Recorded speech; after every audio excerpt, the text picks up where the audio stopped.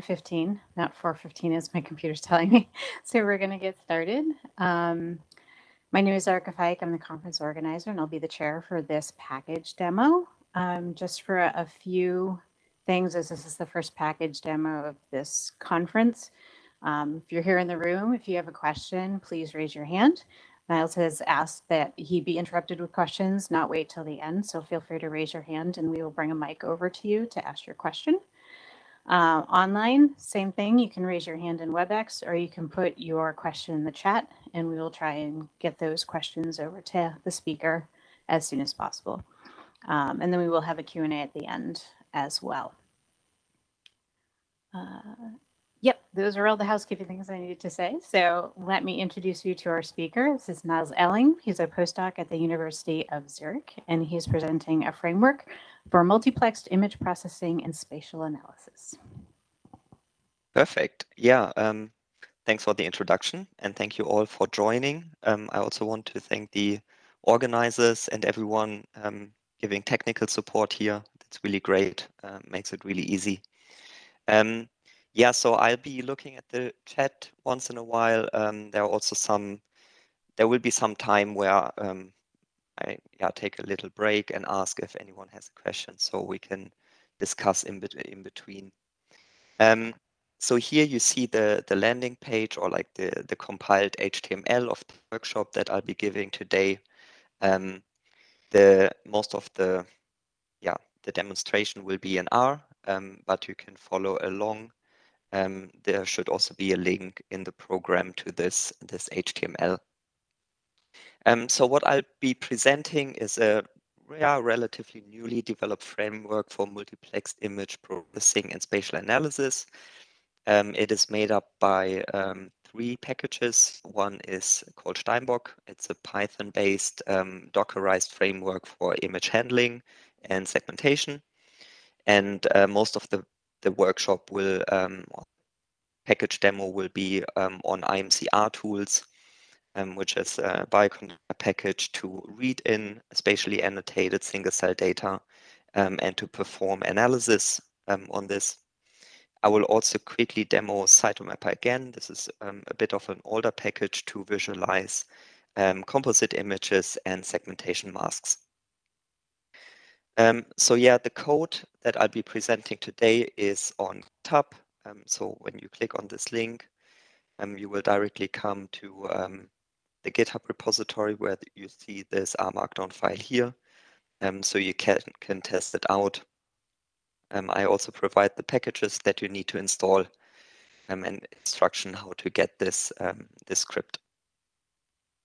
So I want to start with a general overview on the tools that I'll be discussing. Um, so we start from multiplexed imaging raw data. Um, ideally, these are just multi-channel uh, TIFF files. Um, here in Zurich, we're working with imaging mass cytometry, which is a commercialized um, um, system. they provide raw data in the so-called MCD format. Um, so there's a small pre-processing step that Steinbock can handle uh, to generate these multi-channel TIFF files. Steinbock is a framework to read and TIFF files to perform segmentation um, by using a pre-trained neural network. Um, it can then also quantify um, single cell features of these segmented cells and export uh, spatially annotated single cell measurements um, as well as segmentation masks and multi-channel images. imcRtools can directly read in the single cell data to then um, perform bit of spatial analysis and spatial visualization, and Cytomapper can read in multi-channel images and segmentation masks for visualization. Right.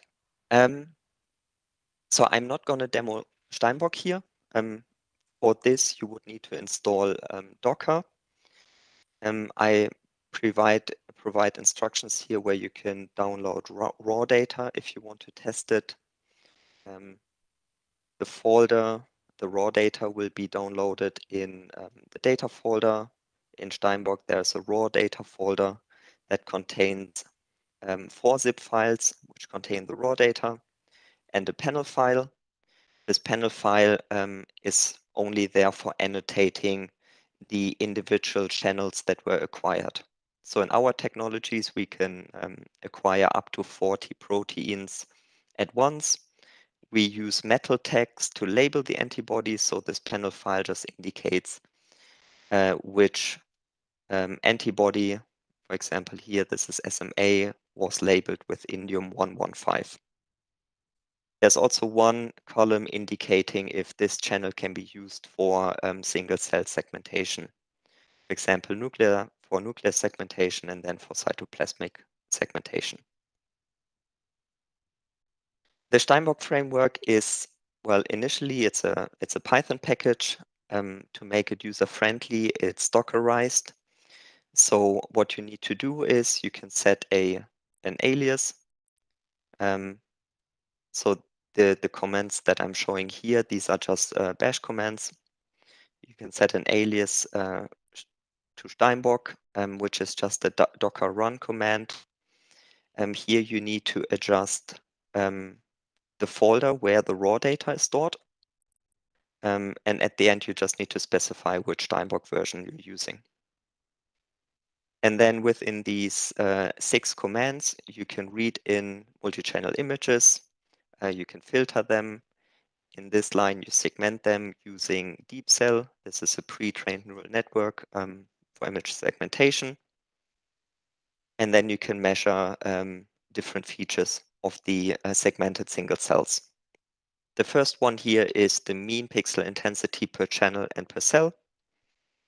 These ones are uh, morphological features as well as the location of individual cells. And the last one is neighbor detection. So here um, spatial object graphs are um, constructed indicating if cells are um, in close physical proximity. Um, and all of this will be written out um, in a folder structure. I can also show you this here. Um, there's this image folder that contains um, um, the multi-channel TIFF files. So here, um, well, looking at the raw data, we have four patients. Um, but patient one actually has three images acquired. Um, patient two, we acquired four images. Um, same for the masks. We get um, each multi-channel image one segmentation mask. Um, after measurement, we also get the intensity uh, measures per image, um, as well as the morphological features and then the neighborhood graphs. I can also quickly show you how these multi-channel images look like by just dropping them into Fiji. Um, and then just adjusting contrast and brightness. So here we have 40 channels, so 40 different proteins measured. Um, this one, for example, here is E-cadherin, a tumor marker. Um, and the last ones here are nuclear markers. And in the mask folder, you have the matching um, segmentation masks. This is segmentation mask for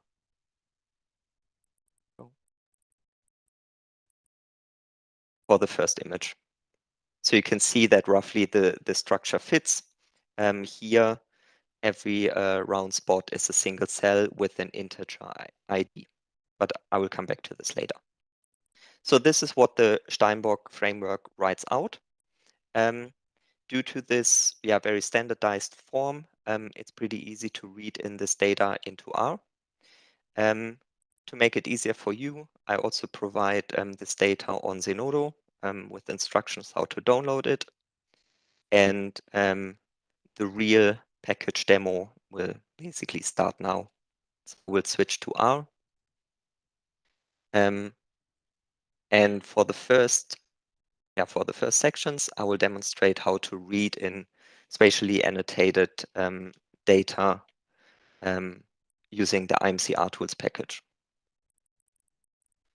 So here, imcRtools provides the read Steinbock function, um, which reads in the generated data from Steinbock into a spatial experiment object.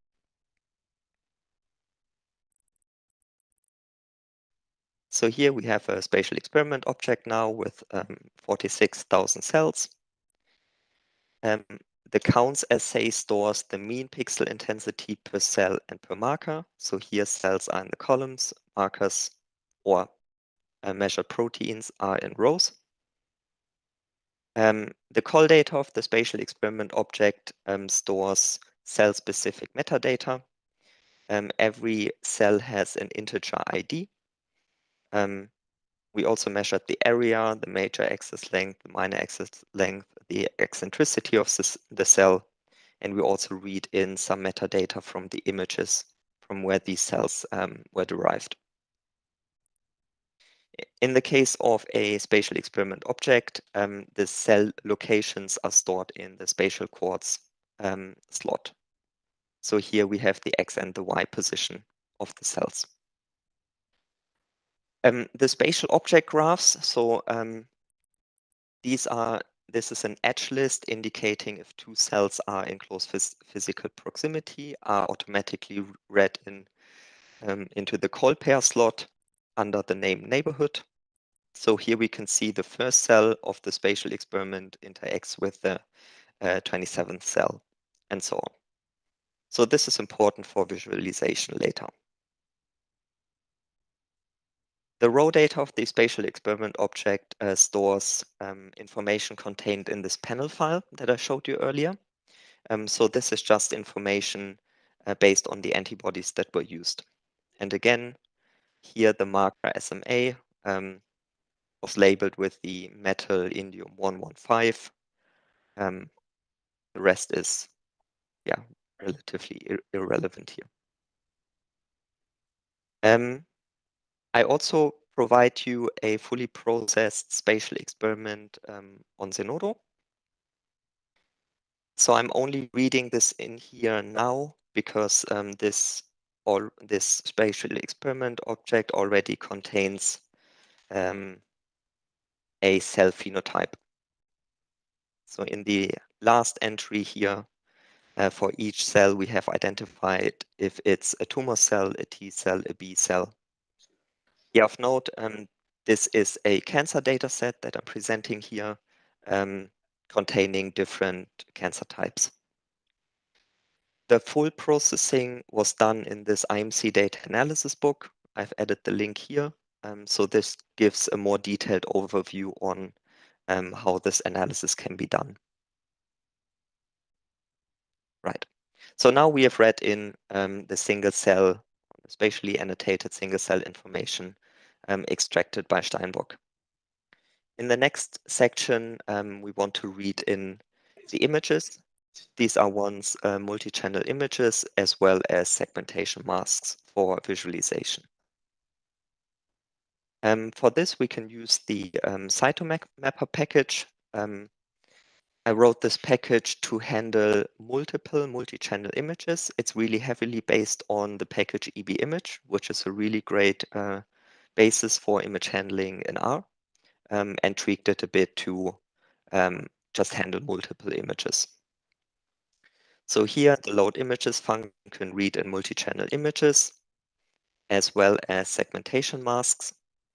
When reading in 16-bit images, and this is how we save uh, segmentation masks, um, you have to set this as is parameter to true to really read in integers. Um, and you can also look at um, these individual entries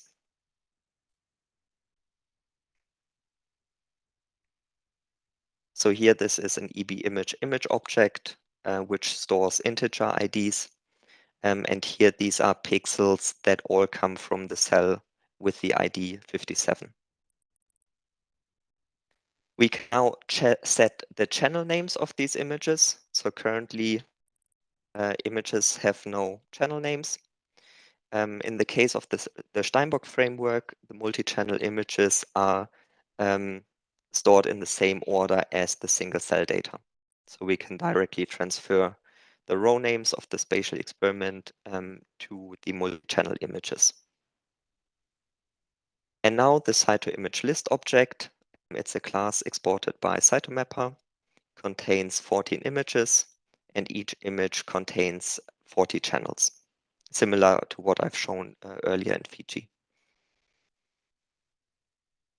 Um, one important thing is also um, to add the um, element metadata of the Cyto-image list object. Um, this is important to match images between the multi-channel images and the segmentation masks. Um, we want to make sure that the names of both images and uh, segmentation masks match, so they're in the same order. Um, and here we can set the element metadata of the list uh, to contain the sample ID. So sample ID is a, uh, an image identifier. This can now be found in the element metadata of images, of masks, as well as the, um, um, the spatial experiment object. So there's also sample ID here. So now you can link um, images, the segmentation mask, and the single cell information contained in the spatial experiment object. Right. So another option would also be to generate a single cell data directly from the multi-channel images and the segmentation masks by using um, the me measure object function from um, from Cytomapper. I'm directly going to start this because it's going to take a couple of seconds.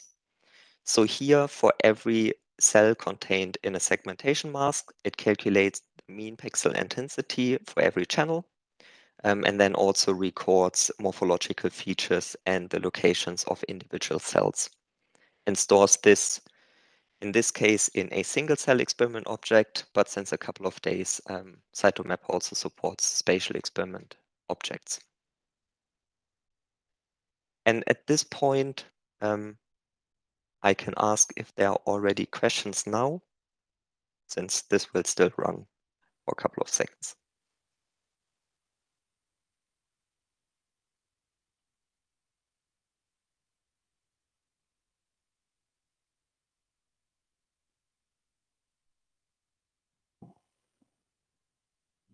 We're not seeing any hands raised in the room. Um, anybody? I mean, that's good. Yeah. There will be. Uh, You're being very clear. At the end. yeah.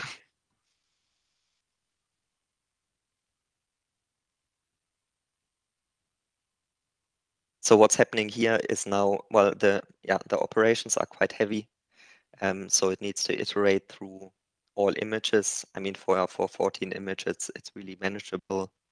Um, doing this for, I think we've tested it on 700 images, and that runs for an hour. So using Steinbock for segmentation is, is definitely recommended.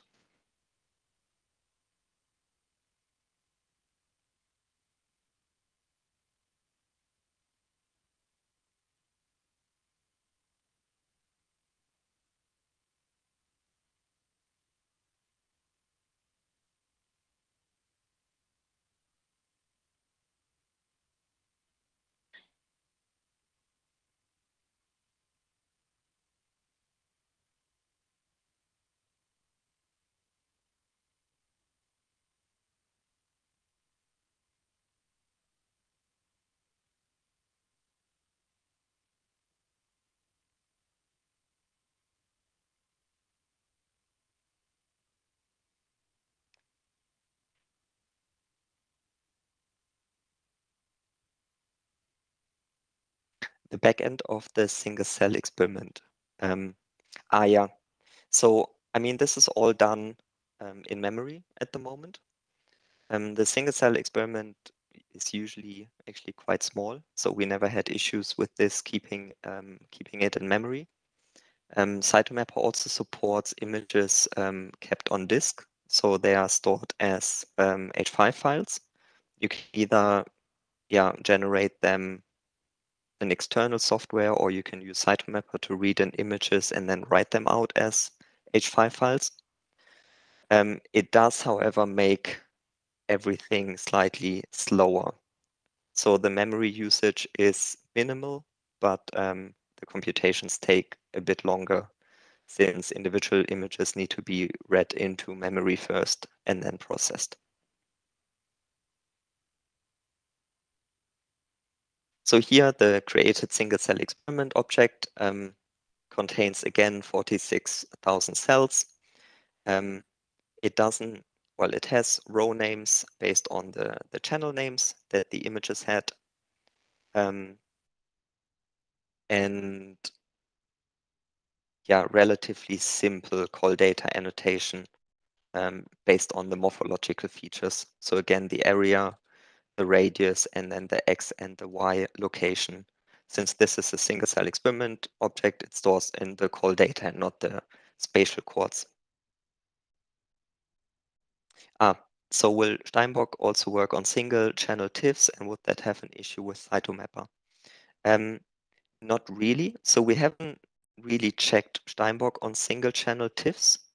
In theory, it should work. Um, there might be an issue with the segmentation because you would need to um, have at least one channel for the nuclear stain and one channel for the cytoplasmic stain.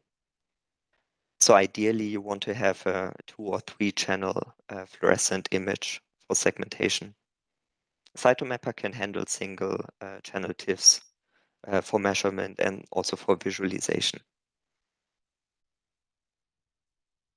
So for visualization, we're going to select um, um, these three images. Uh, what if you segmented outside Steinbock? Um, yeah, I guess, I mean, the cell, like Cellpose and StarDist, they support um, only nuclear segmentation. So I guess there a single channel um, will be fine. Um, we tend to do whole cell segmentation. But yeah, if you're using Cellpose, then there shouldn't be any issue. And it will create uh, similar segmentation masks to what Steinbock is doing.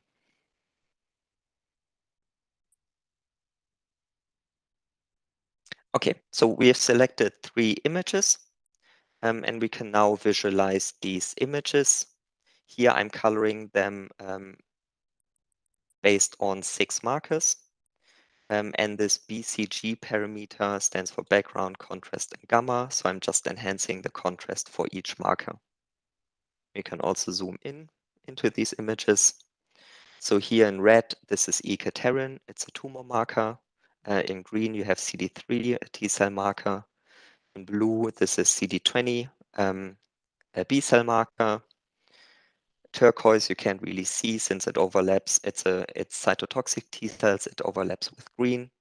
CD38 in magenta is a plasma cell marker, and Ki67 is a proliferation marker.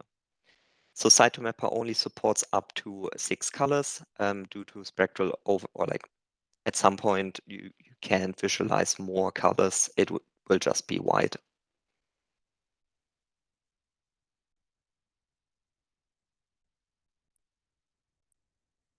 Um, let me finish with the, the uh, visualization section, and then I will come back to the question in the chat. So here, um, for pixel visualization, we use the plot pixel function. Uh, Cytomapper also exports the plot cells function. Um, this now takes segmentation masks um, objects and can color each cell based on metadata or based on the expression. So in this case, um, we can visualize um, the matched segmentation masks and color them by cell type.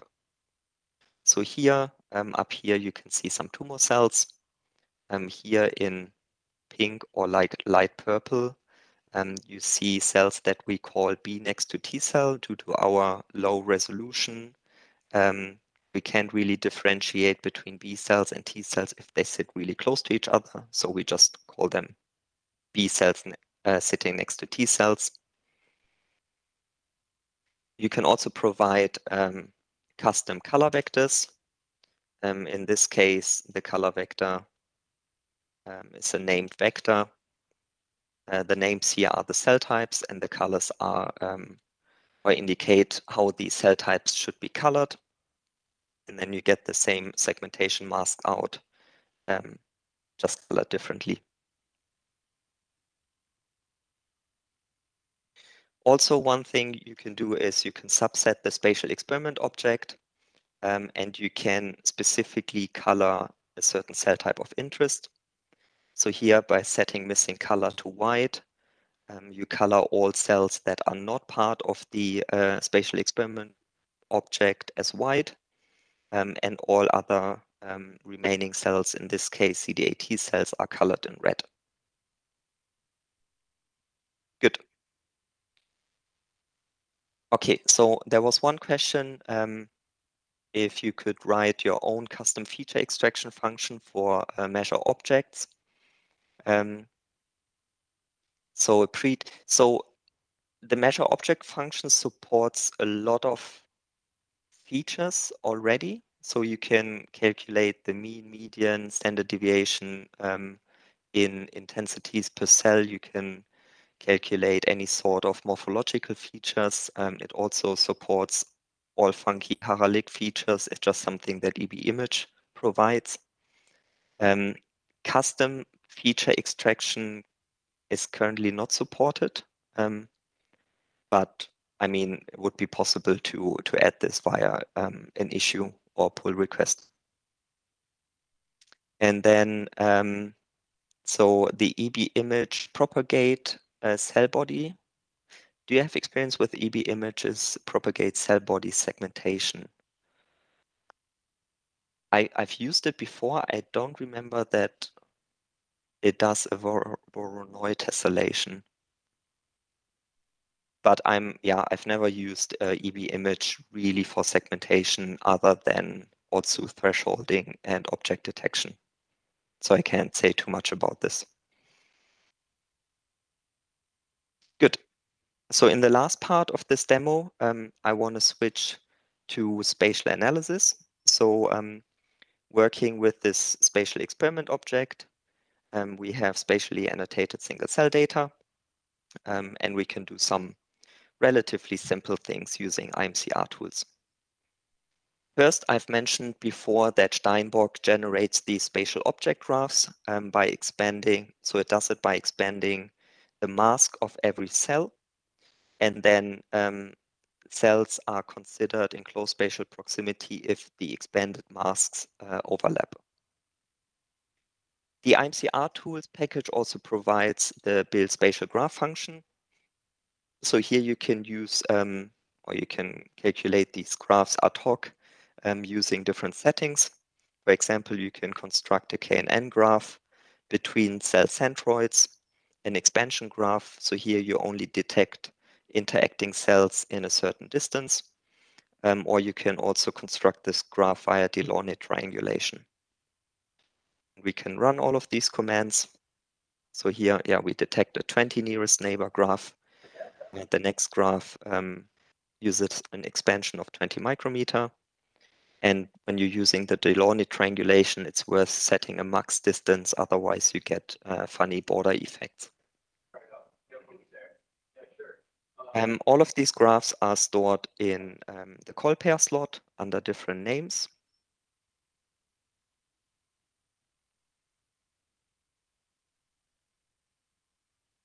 So here the first entry is the graph exported from Steinbock.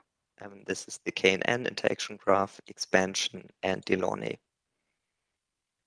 And now using the um, plot spatial function from imcRtools, you can also visualize these graphs. Um, so here we are just selecting one image. Um, and we also want to draw edges and we color the nodes by cell type. So when we do this,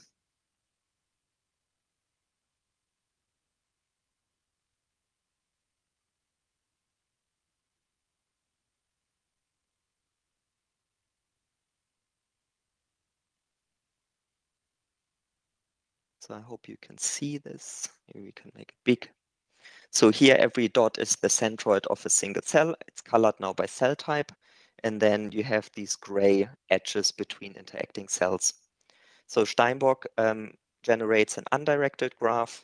Um, so you have these bidirectional edges between, between cells. Um, the KNN interaction graph, um, it now contains a lot more edges because we detect the 20 nearest neighbors.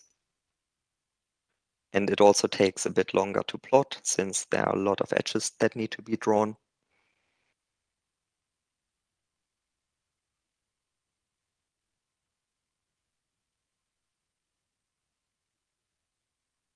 So here you can see these, these cells are highly connected and I wouldn't really consider them direct neighbors anymore, but um, a 20 nearest neighbor graph um, now accounts for larger interactions. And we can also see um, a bit further in this demo why this might be um, needed. And then the last one is the Delaunay triangulation graph. Actually, I skipped the expansion. That's fine. So here, Delaunay triangulation, um, it also um, detects these a bit more long-range interactions between cells. One feature of this plot spatial function, um, you can also here um, give the, the image ID and it will plot um, all images side by side. I mean, for our data, so our images are relatively small. They're only 600 micrometer uh, in width and in height. Um, this doesn't render too nicely now. Well, yeah, but here you can already see different structure. For example, these four images here contain uh, the so-called B next to T cells indicating tertiary lymphoid structures. All right, so for the per cell protein expression level, do you use mean or total intensity of the pixels belonging to the cell? So we usually use uh, the mean intensity, uh, which is just the total pixel intensity divided by the area of the cell. Um, there are also other ideas of normalizing this better, um, but for us, the, the mean always worked. Um, some people also tend to use the median, but if you have some markers that are only expressed on like certain spots of the cell or just on the membrane, um, the median will be zero. Um, and this might be an issue. Good. So the next part of this demo um, is how to calculate cell cellular neighborhoods. So this is a term coined by uh, Gary Nolan's lab, um, and they published two papers based on this. The approach is relatively simple. So for every cell, you basically um, calculate the fraction of cell types in its direct neighborhood.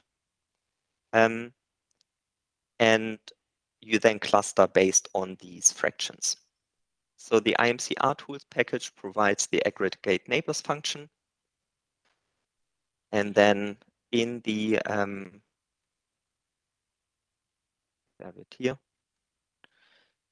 Uh, this function generates a new entry to the spatial experiment object um, that is a data frame. So every row here, again, is a single cell, and then you have the fraction of cells in its um, neighboring um, or in its neighborhood. So here um, I'm using the, the 20 nearest neighbor graph. Um, so I'm aggregating across the 20 nearest neighbor neighbors in 2D. And for example, here for cell 4, 5% uh, of neighbors are CD4 cells, 10% uh, are Tregs, and then the rest are tumor cells. And you can then use this information to um, cluster the cells. Here we are just doing simple k-means. Um, okay, and then we can visualize these cellular neighborhoods.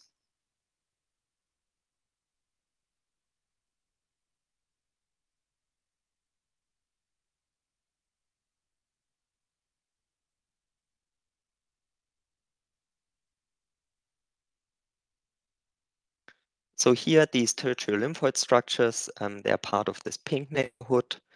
Um, the cyan cells are tumor cells, and these purple cells are um, the, the tumor stroma border cells. We can also visualize the composition of each cellular neighborhood as a heat map. I'm not going to go into details here um, since um, there are only five minutes left. Um, and for brevity, I'm also going to skip the patch detection function. This one um, allows you to detect um, patches of predefined cells and directly move on to the interaction analysis. So this um, was proposed by Schapiro. Um, it is based on a permutation approach to identify cell type pairs that interact more or less frequently um, um, compared to what you would expect by chance. I'm going to start this since it also runs a couple of seconds. Um, so what it does now is per image and per cell type pair, it computes the average interaction count. Um, and then it shuffles the labels in this time, in this case, 200 times and um, generates an empirical null distribution of the average um, cell type interaction count. The actual count will then be compared against this empirical null distribution, and these empirical p-values can be um, can be calculated. So you get a sort of a statistical readout if certain pairs of cells interact, um, so attract each other or avoid each other.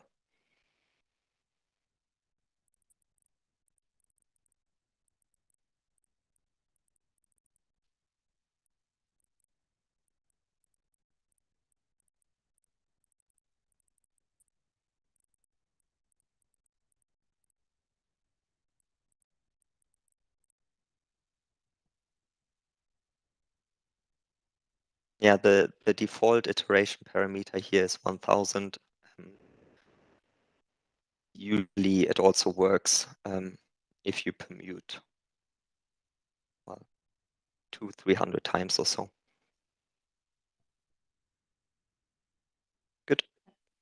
So the result is a data frame um, for every image um, and every cell type pair.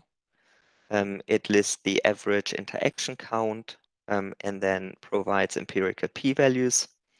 Um, and the sigval in, um, entry indicates um, if two cell types are interacting, which is one, if there's no statistical significance, which is zero, or minus one meaning, um, meaning they avoid each other.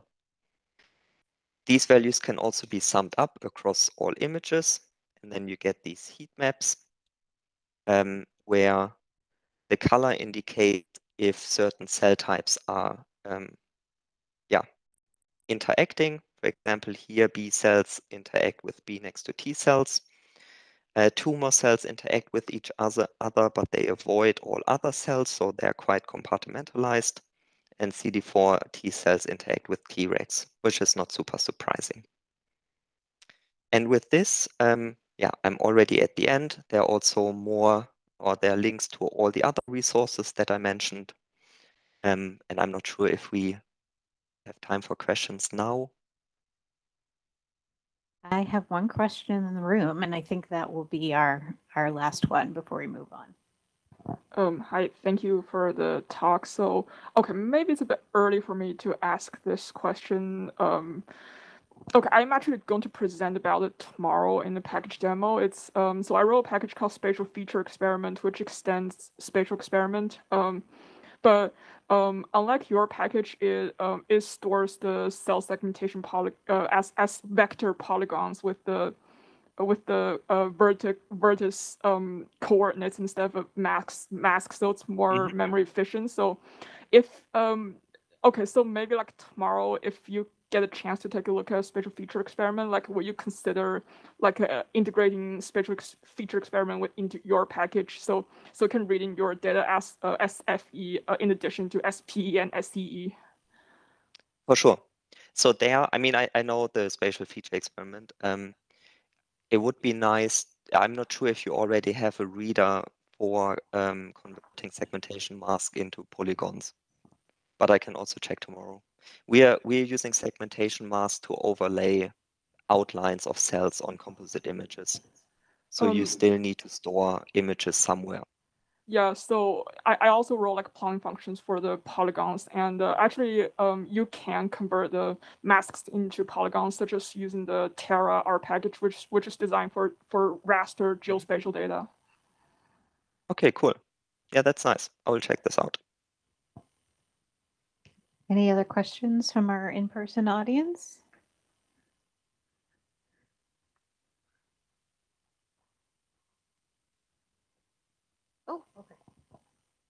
Okay, one quick question. So in the interaction plot you are showing, what does Treg interacting with self mean?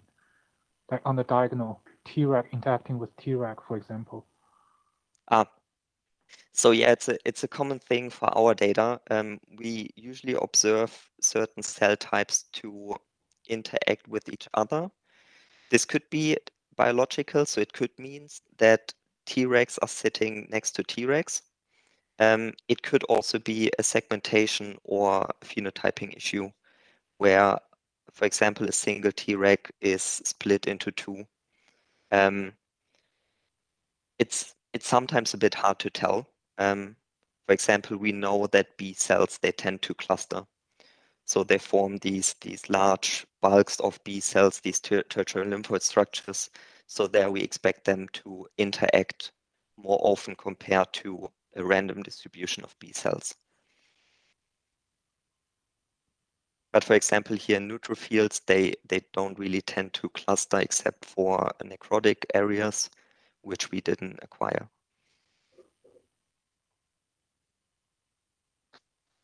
All right. Well, in order to give everybody time to get to the next session, we're going to close this one. Thank you very much. A round of applause for our speaker. Thank you so much. Thank you. Um, there is a session here in just a few minutes, so you can either stay or head back to the Cure building. Thank you.